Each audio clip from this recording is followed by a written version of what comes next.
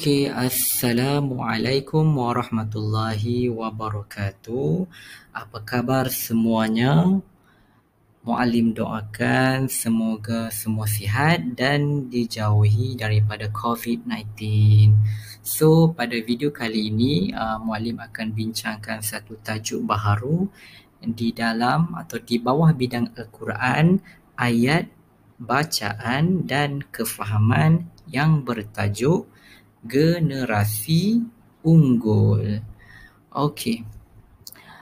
Generasi unggul, apa yang kita nak bincang, apa yang kita nak fokus telah pun ditetapkan tadi. Tapi persoalan besar yang ingin muallim uh, kemukakan adalah tiga. Pertama, siapakah generasi unggul ataupun generasi hebat? Kedua, apakah kelebihan generasi ini? Dan yang ketiga, um, bagaimana kita sebagai seorang guru, seorang murid ataupun siapa sahaja hendak mencontohi atau apa yang boleh kita contohi daripada generasi unggul ini. Dan untuk tajuk ini uh, diketengahkan ayat 100 surah At-Taubah surah pengampunan. Dan adab membaca surah At-Taubah berbanding surah lain adalah surah ini dimulai dengan isti'azah. Kebiasaannya dimulakan dengan basmalah. Tapi bagi surah ini tidak kiralah kita baca di awal di tengah atau di mana sahaja ia akan dimulakan dengan isti'azah A'udzu billahi minasyaitonir rajim. Ah begitu. Jadi sebelum kita mendalami tajuk ni, jom kita baca ayat 100 surah At-Taubah bersama muallim. Satu, dua, tiga. A'udzu billahi minasyaitonir rajim.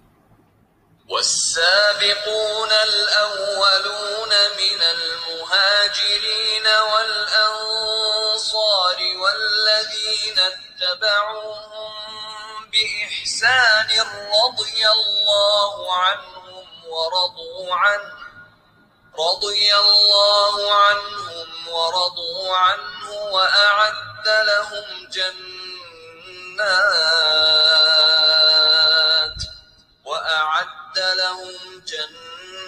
جنات تجري تحتها الأنهار خالدين فيها أبدا ذلك الفوز العظيم Sadaqallahul azim. Ah, sedap kan bacaan muallim. Tapi sayangnya yang tadi ni adalah suara Imam Al-Afasi. Kalau muallim yang baca, tak tahu jadi lagu mana. Okey, bila kita dengar suara imam ni baca, maka menggamitlah kenangan kita pada bulan Ramadan setiap tahun, betul tak? Ha, okey, tak apa. Jom kita teruskan perbincangan. Okey, baiklah murid-murid. Uh, kita jangan buang masa lagi. Untuk memahami ayat ke-100 ini, uh, muallim bahagikan kepada dua bahagian. Okey, bahagian yang pertama uh, bermula daripada sini ini, kedua dan kotak yang ketiga dan bahagian yang kedua adalah selebihnya bermula daripada radhiyallahu anhum sehinggalah ke bahagian yang paling bawah zalikal fauzul azim. Okey, kita lihat dulu bahagian yang pertama dalam tajuk generasi unggul. Bahagian yang pertama memang khusus menyebut tentang generasi tersebut. Kita tengok.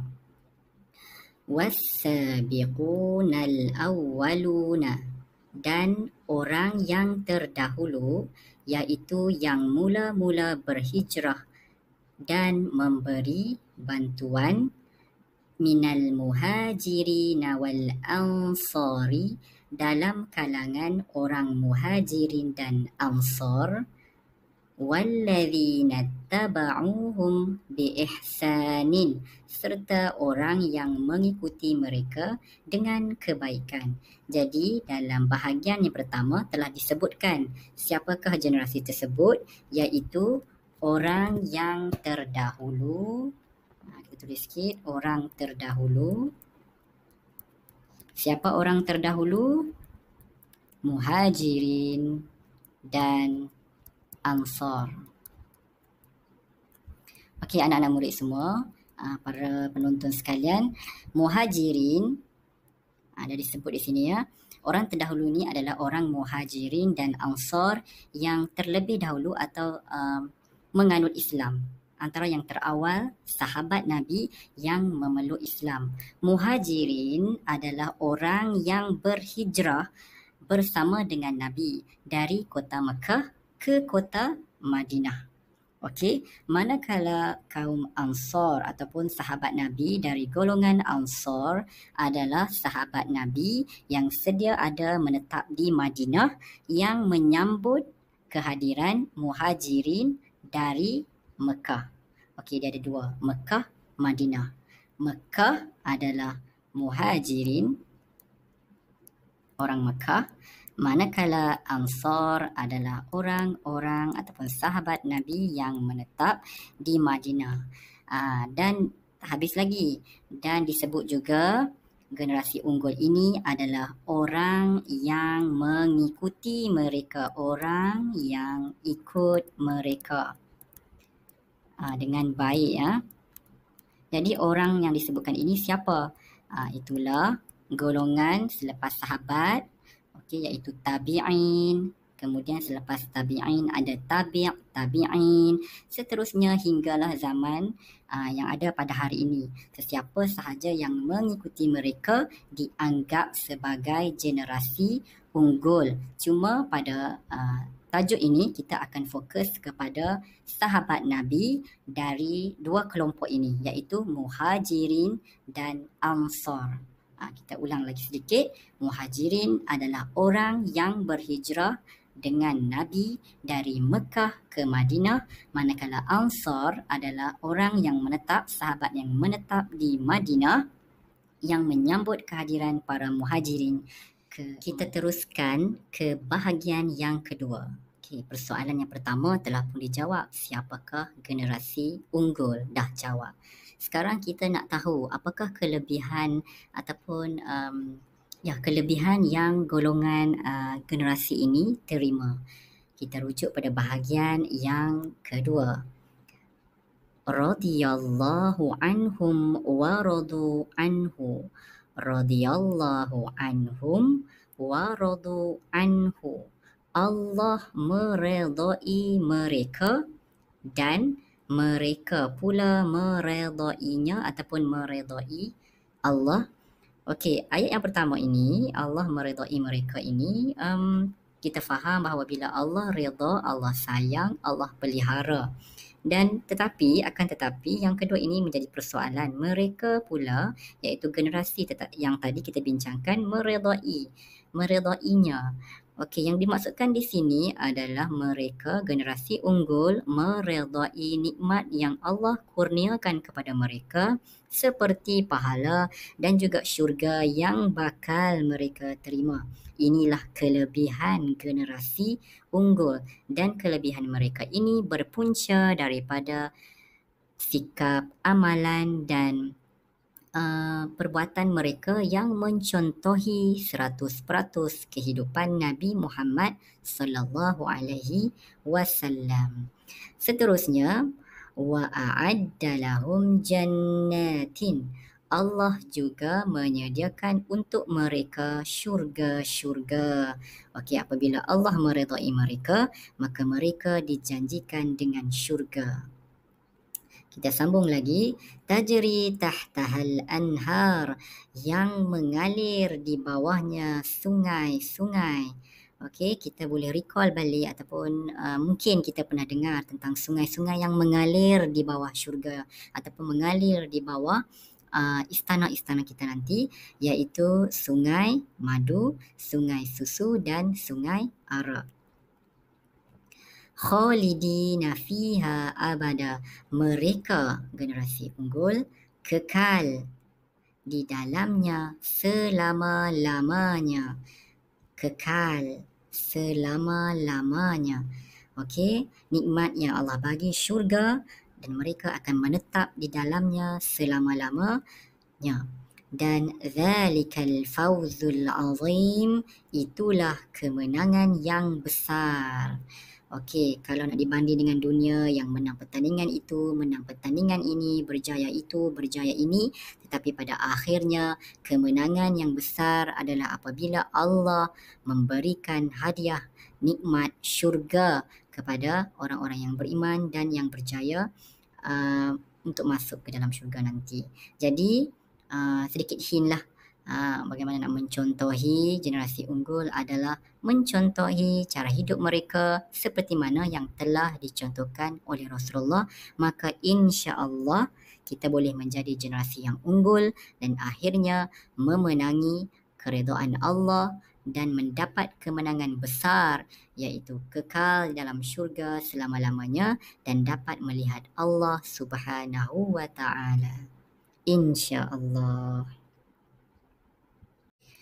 Murid-murid sekalian, sebelum mualim lupa, ada satu perkara penting tentang uh, muhajirin dan ansar ini. Mengapa Allah mengangkat mereka sebagai generasi unggul adalah kerana perjuangan dan pengorbanan mereka yang um, sanggup meninggalkan uh, harta dan juga keluarga uh, di Madinah untuk bersama-sama berhijrah dengan Nabi dengan susah payah untuk ke Madinah dan pengorbanan golongan Ansar di Madinah itu sendiri yang berkorban harta untuk diberikan kepada golongan muhajirin yang tiba dari Mekah. Maka dengan itu, maka golongan ini diangkat oleh Allah sebagai generasi unggul selain daripada mereka itu sendiri yang hidup mereka adalah seperti kehidupan Rasulullah sallallahu alaihi wasallam sendiri kita teruskan sedikit tentang takrif ataupun maksud sahabat. Dari sudut bahasa, sahabat adalah yang mendampingi. Ha, macam kawan-kawan kita lah selalu menempel dekat kita. Kita panggil dia kawan. Tapi bahasa Arab dia sahabat yang mendampingi. Tetapi dari sudut istilah, jika kita nak memberikan maksud untuk sahabat, uh, merujuk kepada sahabat Nabi ya, bukan sahabat kita. Sahabat Nabi dari sudut istilah adalah kita beri fokus sikit.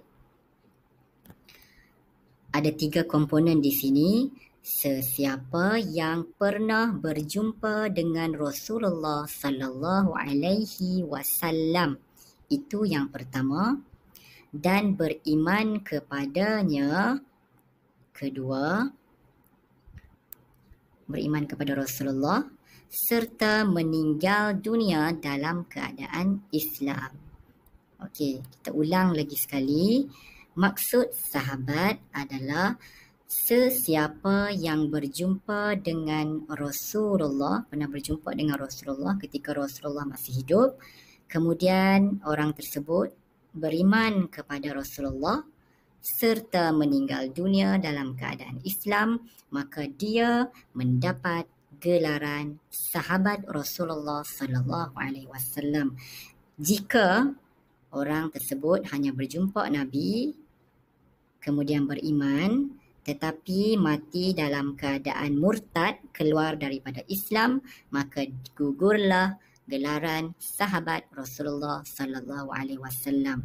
Apakah kelebihan menjadi sahabat? Ha, sahabat pernah uh, Nabi SAW pernah bagi tahu kepada kita yang sahabat-sahabat Nabi itu ibarat bintang-bintang di langit yang akan menyinari bumi ini. Dengan kata lain, mereka lah yang akan membawa sinar Islam ke seluruh pelosok dunia dan kerana sahabatlah kita pada hari ini uh, menjadi seorang Muslim yang memakai nama Muhammad, nama Aisyah dan sebagainya. So, persoalannya adakah kita ini dipanggil sahabat? Jawab sendiri. Okey, semoga para pelajar boleh faham tentang definisi sahabat kerana dia terba- uh, kerana ia termasuk salah satu daripada fokus kita untuk tajuk yang dikasihi sekalian. uh, sebenarnya uh, jumlah sahabat Nabi Muhammad sallallahu alaihi wasallam adalah melebihi 100 ribu orang. Okey, uh, untuk bahagian ini, Mualim akan bincangkan sedikit lebih mendalam tentang sahabat Nabi uh, daripada ramai-ramai tersebut. Kita akan bincangkan apa yang telah difokuskan di dalam surah ini iaitu golongan muhajirin dan golongan golongan muhajirin dan golongan ansar. Baiklah kita tengok sedikit tentang definisinya ataupun tentang huraiannya. Golongan muhajirin adalah penduduk Mekah. Okey, yang beriman kepada Rasulullah sallallahu alaihi wasallam. Mereka berhijrah ke Madinah dan tinggal di sana. Jadi dengan maklumat yang diberikan, tahulah kita bahawa muhajirin adalah penduduk Mekah, penduduk asal Mekah yang menetap di sana bersama bersama dengan Nabi Muhammad sallallahu alaihi wasallam dan mengapa surah ini menekankan tentang generasi unggul dari kalangan sahabat, muhajirin dan ansar kerana muhajirin penduduk Mekah yang beriman kepada Allah dan Rasulullah mereka sanggup meninggalkan ahli keluarga dan juga meninggalkan harta mereka semata-mata untuk berhijrah bersama Nabi dari Mekah menuju ke Madinah. Baiklah, Apabila mereka berhijrah dari Mekah ke Madinah, mereka disambut pula oleh golongan Ansar iaitu penduduk asal Madinah. Jom kita lihat maklumatnya. Penduduk Madinah daripada kalangan Qabilah Aus dan Khazraj. Untuk pengetahuan semua, golongan Ansar pula terbahagi kepada dua iaitu Aus dan Khazraj.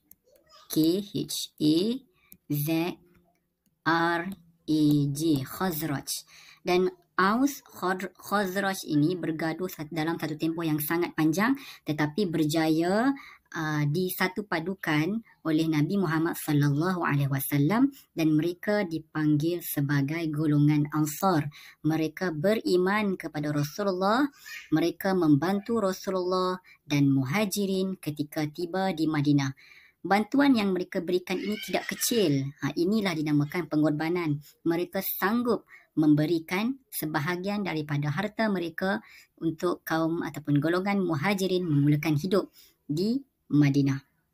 Jadi kita boleh lihat di sini mengapa Allah mengangkat golongan ini uh, di dalam surah At-Taubah golongan yang diberikan diredai diberikan syurga dan mereka mendapat kemenangan yang besar kerana pengorbanan mereka bukan bertujuan untuk individu tapi bertujuan untuk Islam itu sendiri. Sanggup meninggalkan harta, keluarga dan manakala Ansar memberikan harta mereka semata-mata untuk menaikkan syiar Islam.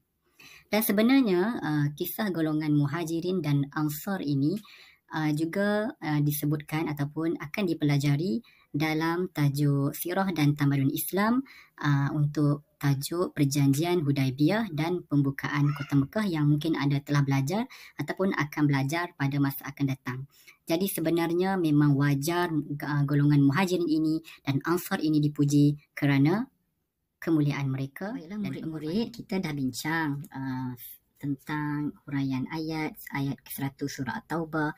Kita juga telah bincang tentang ta'rif, sahabat, muhajirin dan ansar. Adakah di hati anak-anak murid sekalian ada perasaan untuk mencontohi para sahabat yang kita bincangkan tadi sebagai generasi unggul? Murid-murid sekalian, mungkin kita tidak nampak uh, keistimewaan mereka kerana tidak membuat bacaan yang mendalam mungkin.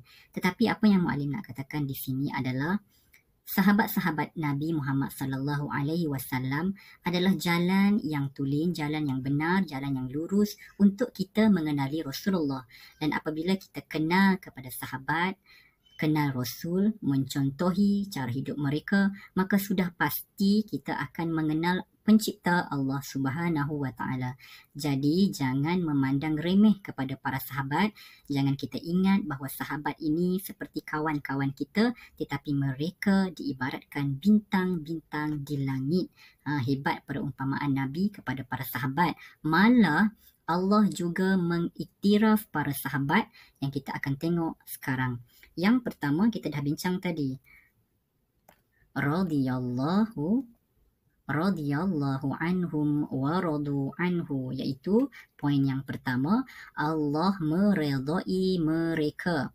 Dan kita kena tahu bahawa apabila Allah redha kepada seseorang maka Allah memelihara penglihatan percakapan pertuturan perbuatan semua tindak tanduknya di bawah pengawasan Allah Subhanahu wa taala Bahkan bila Allah redha kepada makhluknya, maka Allah akan memberikan ganjaran syurga yang sangat kita nantikan. Itu yang pertama, Allah redha kepada sahabat. Kedua, para sahabat dijanjikan dengan kemenangan. Murid-murid sekalian, dalam ayat ini, ayat ke-18 18 surah Al-Fathu, sesungguhnya Allah meredai orang yang beriman ketika mereka berjanji taat kepadamu di bawah pohon. Maka dengan itu ternyata dia mengetahui apa yang terkandung dalam hati mereka, lalu dia menurunkan ketenangan kepada mereka dan memberi balasan dengan kemenangan yang dekat. Ayat ini sebenarnya ingin menjelaskan tentang peristiwa pembukaan kota Mekah juga melibatkan uh, para sahabat dalam sejarah pembukaan kota Mekah ini. Jadi anda akan lebih faham apabila belajar uh, untuk tajuk perjanjian Hudaibiyah dan pembukaan kota Mekah.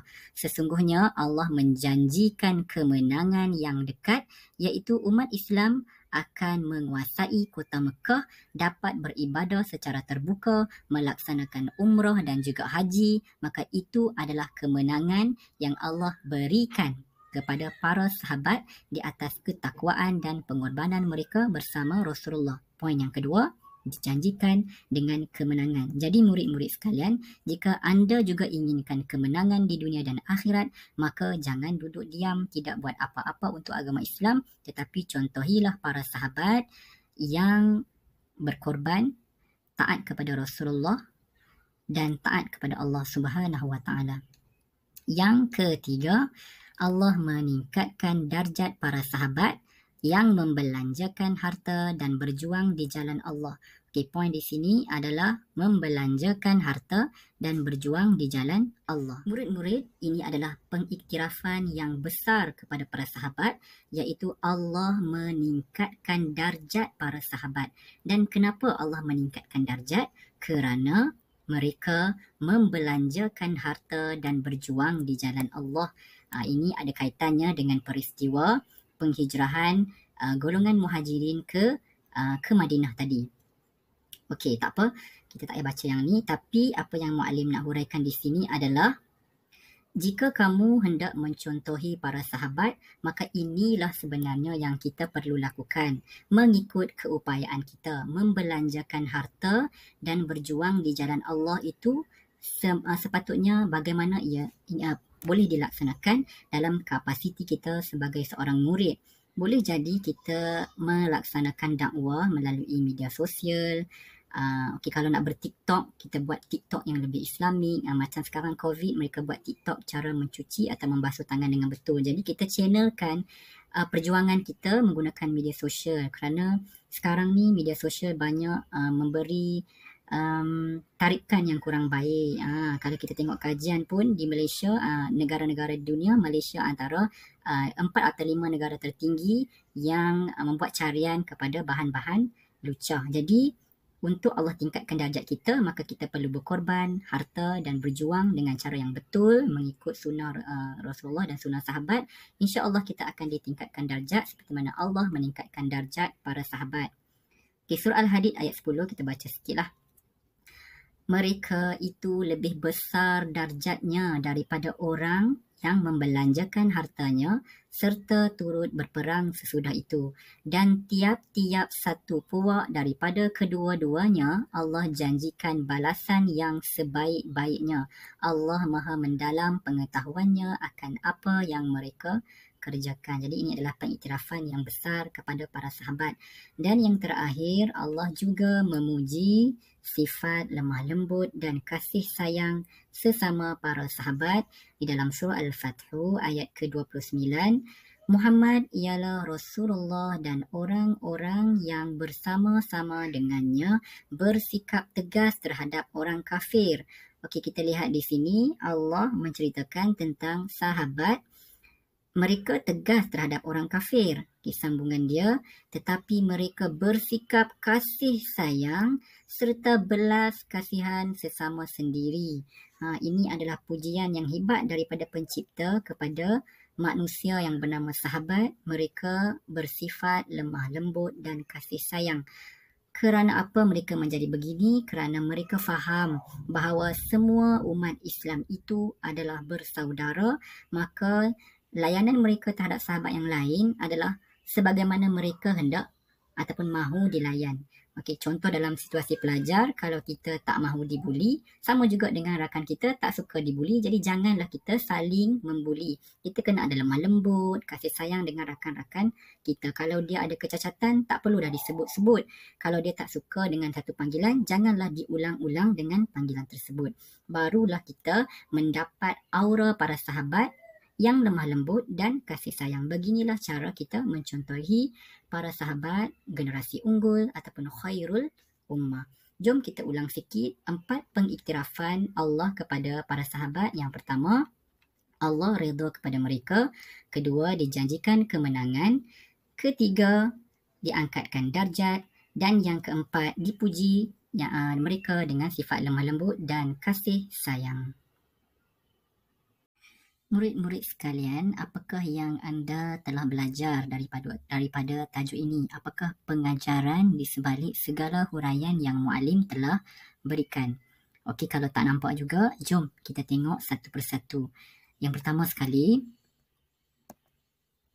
kita hendaklah berlumba-lumba dalam urusan kebaikan agar kita menjadi seperti as-sabiqunal awwalun mereka membantu perjuangan Rasulullah ketika orang lain menolaknya. Okey, sekali baca boleh faham tapi bagaimana dengan situasi kita sebagai pelajar? Okey, murid-murid sekalian, kita kena berlumba-lumba buat kebaikan. Rasulullah dan para sahabat telah pun uh, tiada di muka bumi ini. Adakah apabila mereka tiada, terhenti segala perjuangan Islam? Uh, jawapannya tidak. Maka kitalah orang yang perlu berlumba-lumba membuat kebaikan, menjalankan misi dakwah iaitu sunnah Rasulullah, menjalankan misi dakwah untuk menyebarkan Islam supaya tidak ada seorang pun dalam zaman ini yang terlepas daripada mendengar tentang Islam. Ini adalah misi Nabi Muhammad supaya semua orang terlepas daripada azab api neraka. Okay, jadi gunakanlah uh, kemampuan kita untuk melaksanakan misi-misi dakwah dengan uh, kebolehan dan keupayaan kita. Yang kedua, kita hendaklah bersyukur kepada Allah atas segala nikmat kurniaan Allah dengan menjauhi larangannya supaya beroleh kesejahteraan yang berpanjangan. Okey, uh, bila nak kesejahteraan, ketenangan jiwa, maka kita kena mulakan dengan rasa syukur kepada apa yang Allah telah berikan. Nah, yang ni anda boleh relate semula dengan tajuk qanaah, boleh tonton di video yang sebelum ini. Tapi apa yang Muallim nak tekankan di sini, macam mana kita nak tunjukkan kesyukuran kepada Allah yang telah memberikan Islam dan iman kepada kita adalah menjauhi larangan-larangan yang Allah telah tetapkan. Okey, cuba kita fikir balik apa larangan-larangan dalam situasi pelajar.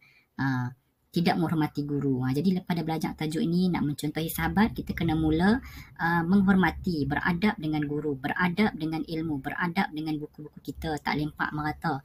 Kemudian apa lagi, menghormati ibu bapa itu adalah asas menjadi seorang, uh, menjadi umat Nabi Muhammad yang yang mulia. Jadi jadilah orang yang bersyukur, jadilah orang yang menjauhi segala larangan dan jadilah juga orang yang mencegah kemungkaran-kemungkaran yang kita nampak. Yang ketiga, kita hendaklah mengelakkan diri daripada membenci, mencela, mencaci, menghina para sahabat kerana mereka ialah golongan yang diredai Allah. Ha, Allah redha kepada sahabat, takkan kita yang tak pasti lagi diredai atau tak tiba-tiba kita nak mencela Nabi, menghina para sahabat uh, yang sahab yang dipuji oleh Nabi sendiri. Uh, contohnya golongan Syiah mencaci sahabat ini sampai tahap menjadikan bilik air itu sama seperti rumah uh, para sahabat. Contohnya nak pergi ke bilik air Syiah, golongan Syiah yang yang ekstrim uh, ada yang mengatakan jom kita pergi ke rumah Abu Bakar, kita pergi ke rumah Umar. Ini adalah penghinaan yang sangat besar uh, kepada para sahabat yang mulia. Jadi tolong jangan jadikan sahabat sebagai uh, bahan dalam kita nak bercakap, kita nak melawak ataupun kita nak berhujah. Uh, kita kena berhati-hati. Dan yang terakhir, kita hendaklah berusaha dengan menjadikan amalan para sahabat sebagai contoh ikutan supaya mendapat syurga yang abadi. Okey, Mak akan share sedikit tentang lima amalan yang paling para sahabat suka Okey, selepas ini ya, murid sekalian uh, adalah menjadi tanggungjawab muallim untuk membimbing murid-murid mencontohi sifat dan amalan para sahabat uh, untuk murid-murid nanti boleh amalkan uh, secara istiqamah. Jadi kita uh, jom kita lihat antara lima amalan yang disukai oleh oleh sahabat uh, Rasulullah sallallahu alaihi wasallam. Pertama sekali, uh, para sahabat sangat melazimi jemaah. Maksudnya, sahabat ini tidak duduk berkelompok-kelompok tetapi sangat uh, suka duduk dalam jemaah, uh, berkumpulan. Okey dan apatah lagi uh, dalam ibadah, para sahabat suka duduk dalam berjemaah, melaksanakan secara berjemaah kerana bila kita berjemaah, maka kita akan lebih lebih kuat. Jadi ini adalah antara amalan yang boleh kita mula amalkan selepas ini. Yang kedua, para sahabat adalah antara, antara golongan manusia yang paling rapat mengikuti sunnah Nabi Muhammad sama ada sunnah percakapan Nabi ataupun perbuatan ibadah Nabi semua para sahabat mengikutinya bulat-bulat 100% kerana mereka yakin dan kita yakin bahawa sunnah ataupun hadis dan juga Al-Quran tidak pernah menyesatkan manusia sehingga ke hari kiamat. Jom kita amalkan sunnah. Contoh kita ambil satu sunnah uh, makan dengan tangan kanan, um, memulakan memulakan perkara-perkara yang baik dengan tangan kanan, memulakan sesuatu yang baik dengan bismillahirrahmanirrahim. Okey, melazimi zikir supaya hati tidak lalai setiap masa di tempat-tempat yang yang sesuai. Okey, yang ketiga memakmurkan masjid. Di dalam surah At-Taubah sendiri, Uh, pada ayat yang ke-18 menyatakan siapakah golongan yang memakmurkan masjid ini iaitu golongan yang beriman kepada Allah dan beriman kepada hari kiamat. Jadi sama-samalah kita belajar dan cuba untuk memakmurkan masjid. Kalau tak boleh semayang jemaah lima waktu di masjid, pilihlah satu atau dua waktu kita mulakan dengan yang kecil. Insya Allah akan berterusan dan istiqamah. Yang keempat, membaca Al-Quran uh, para sahabat, amalan mereka, sunnah mereka sangat rapat dengan Al-Quran kerana mereka yakin bahawa Al-Quran akan datang sebagai syafaat dan meneman kita di alam kubur, membantu kita di padang mahsyar. Jadi jangan pernah meninggalkan membaca Al-Quran setiap hari sehinggalah kita meninggal dunia. Dan yang terakhir sekali sudah semestinya para sahabat sangat um, istiqamah berjihad ke jalan Allah, berdakwah menyampaikan Islam kerana mereka mahu uh, misi dakwah Nabi, misi menyampaikan Islam Nabi ini uh, berterusan sehingga ke akhir zaman. Jadi murid-murid perkara yang baik janganlah kita simpan. Mualim harap kita boleh sama-sama berkongsi dengan rakan-rakan yang lain supaya sama-sama mendapat manfaat dan kebaikan daripada perbincangan tajuk generasi unggul. Jadi sebelum berakhir, Mualim memohon maaf sekiranya ada perkataan yang tak sesuai, ada tersilap maklumat. Jadi tolong uh, betulkan jika ada perkara-perkara sebegini. Sekian. Assalamualaikum warahmatullahi wabarakatuh. Kita jumpa lagi. Okay, bye.